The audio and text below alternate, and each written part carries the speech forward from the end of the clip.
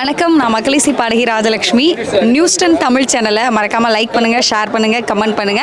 Subscribe பண்ணி பக்கத்தில் இருக்க பெல் ஐக்கானே கிளிக் பண்ணுங்க. நன்றி. பார்க்குற ஆடியன்ஸ்க்கு நீங்கள் எல்லா விஷயங்களும் இது பண்ணும் நமக்கு ஒரு படத்தில் ஒரு அழகான பொண்ணு இருக்கணும்.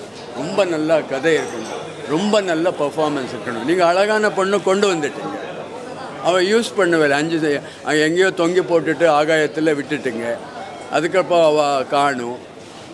ஏன்னா ஸோ அது ஒரு முக்கியமான எலிமெண்ட் எல்லா ஹீரோயினும் அழகாக இருப்பாங்க. நமக்கும் திருப்தியாக இருக்குது ஆம்பளுகள் படை ஆம்பளுக்கு படை பார்க்குறது படை பார்க்குறதுக்கு எல்லாம் ஸோ அது இல்லை இந்த சினிமா இண்டஸ்ட்ரி பற்றி பேசிட்டே இருக்காரு. அப்போ சி சென்டர் வரைக்கும் போவோமா? ஒரு டைலாக் வருது படத்தில். படம் பார்த்தீங்களா?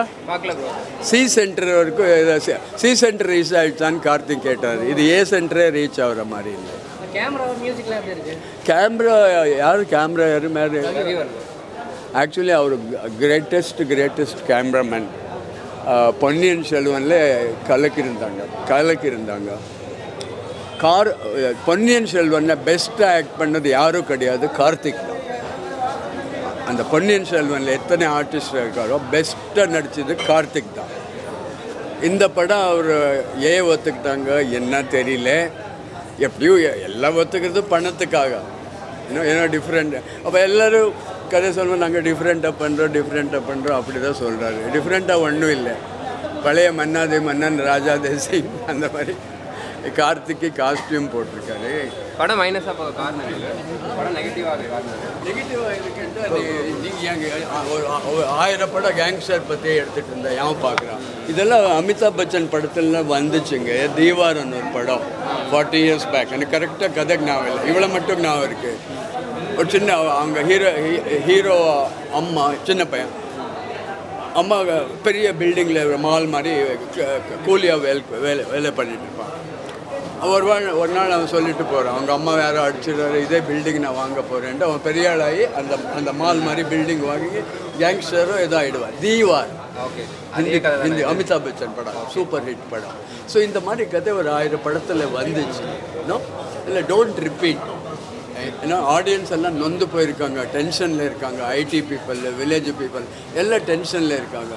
ஒரு ஒரு ஜாலியான ஒரு படம் கொடுங்க. சும்மா ஓகே பட கதையும் வேண்டாம். ஒரு பத்து சாங் போடுங்க நல்ல சாங் அதெல்லாம் கேட்டுட்டு போகிறாங்க ஸோ uh, ஜீவ பிரகாஷ்க்கு no chance to play music எனக்கு சான்ஸ் இருந்தால் தானே நான். இப்போது என்ன ஒரு ஒரு சாதாரண டைரக்டர் கூட்டு போயிட்டா நான் ரொம்ப நல்லா ஆக்டர் நான் என்ன ஆக்ட் பண்ண முடியும்? என்னால் முடியாது.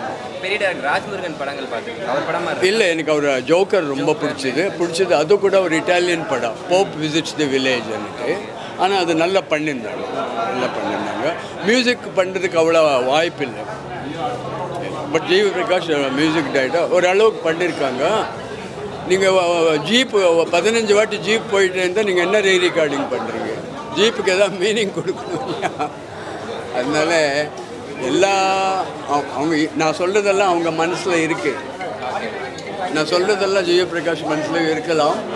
பட் ஏதோ வேண்டான்னு சொல்ல முடியாத ஒரு படம் வரும்போது நிறைய பணம் வருது. பட் எல்லா மியூ ஜெயபிரகாஷ் இருக்கட்டும் ஏதாவது ஒரு டிஸ்கவர் பண்ணல க்ரியேட்டிவாக அந்த அப்படி தான் இருப்பாங்க. பட் இங்கே அந்த மாதிரி சாங்ஸ் எல்லாம் ரீமிக்ஸ் பண்ணாங்க. நான் நான் சொல்லிட்டேன் நினைக்கிறேன். ஃபோட்டோகிராஃபி என்ன ப்ராப்ளம்னா ஃபஸ்ட்டு லொக்கேஷன்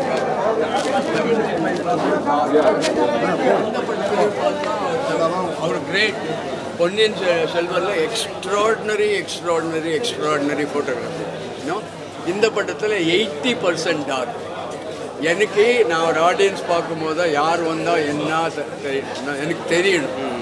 இல்லை ஒரு செவன்ட்டி ஃபைவ் பர்சன்ட் யார் வந்தாங்கன்னு தெரியாது. அது ஒன்றும் நீங்கள் டார்க்கு மூடு கிரியேட் பண்ணுறதுக்கு வச்சுக்கலாம். இல்லை நைட் சீனில் வச்சுக்கலாம்.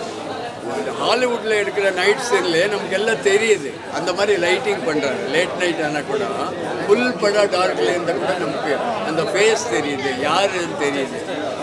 யாருன்னு தெரியாமல் நான் டைலாக் மட்டும் கேட்டு நான் ஒன்றும் குருடன் கிடையாது. எனக்கு கண் இருக்குது நான் படம் பார்க்க வந்தேன். ஓகே யா அண்ட் ஸோ அந்த uh, அந்த மாதிரி பண்ணியிருக்காங்க அவர் கிரேட் கேமராமேன் எதுக்காக பண்ணாங்கன்னு தெரியல. பட் எயிட்டி பர்சன்ட் அவருக்கு ஃப்ரீடம் இருக்கு. ஒரு கிரேட் கேமராமேன் எதுக்கு பண்ணாங்கன்னு தெரியல. டைலாக்ஸ் அப்போ ஜிவி பிரகாஷ் கொஞ்சம் uh, தவறுகள் நடந்திருக்கு. அது டைரக்டர் சொல்லி பண்ணாங்களோ ஏதோ ஏதோ தெரியல. நிறைய இடத்துல டைலாக் பேசும்போது ரீ ரெக்கார்டிங் ஓவர்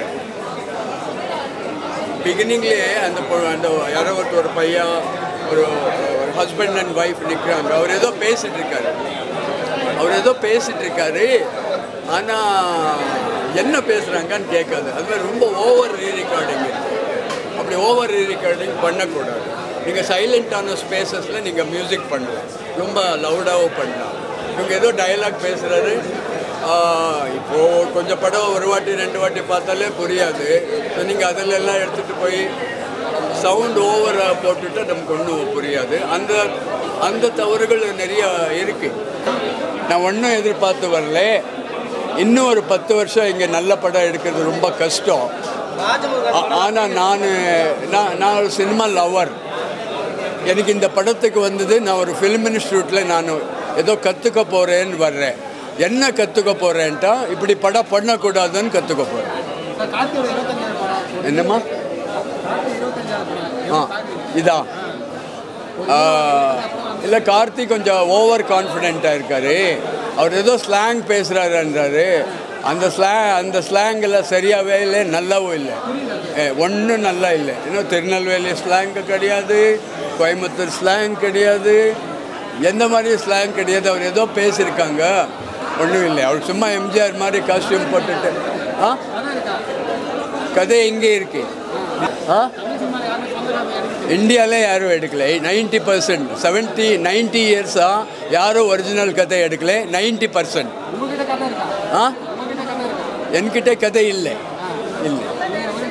சரி? இல்லை நான் ரீமேக் பண்ண போகிறேன் நாகேஷ் இருக்கார் இல்லையா? நடிகர் நாகேஷ். எனக்கு பெரிய ப்ரொடியூசர் கிடைச்சா நடிகர் நாகேஷ் லைஃபை சாவித்ரி பற்றி பண்ணாங்க இல்லையா? நடிகர் சாவித்ரி பற்றி அந்த மாதிரி நாகேஷ் பற்றி நான் படம் பண்ணுறேன் நான் இவரோட நான் நல்லா பண்ணி காட்டுறேன் நான். நாகேஷ் கேரக்டர் எல்லாம் காமன் மேன் யார் யார் தமிழ்நாட்டில் நாகேஷ் மாதிரி இருக்காரோ அவங்களெல்லாம் வர வச்சு அவங்களே யூஸ் பண்ணுறேன் அவங்க ஃபஸ்ட் டைம் நடித்தாலும் பரவாயில்லை. புது ஆள் தான் நான் யூஸ் பண்ணுறேன் எந்த ஆர்ட் எந்த ஆர்டிஸ்ட் வேணும் எனக்கு உண்மையாக சொன்னால் எனக்கு எனக்கு எந்த ஸ்டாரும் வேண்டாம் எந்த கேரக்டர் ஆர்டிஸ்ட்டும் வேண்டாம் நான் எல்லா புது ஆட்களை வச்சு நல்லா படம் பண்ணுறேன் பட் அது ப்ரொடக்ஷன் பெருசாக இருக்கும். ஒரு ஃபிஃப்டீன் க்ரோர்ஸ் நான் நான் ரெண்டு வருஷம் ரிசர்ச் பண்ணேன். ப்ளஸ் என்ன இருக்கு? படத்துல ஜப்பான். ப்ளஸ் ஒன்றும் இல்லை. ஒன்றும் அந்த அந்த ஹீரோயின் சூப்பராக இருக்கிறா அந்த டான்ஸ் நல்லா இருக்கு அவ்வளோ அழகாக ஒரு பத்து நிமிஷம் பார்க்கலாம் அது ஒன்று தான் ப்ளஸ் டென்னுக்கு four Hi, this is Minna. Like, share, subscribe. News 10 Tamil.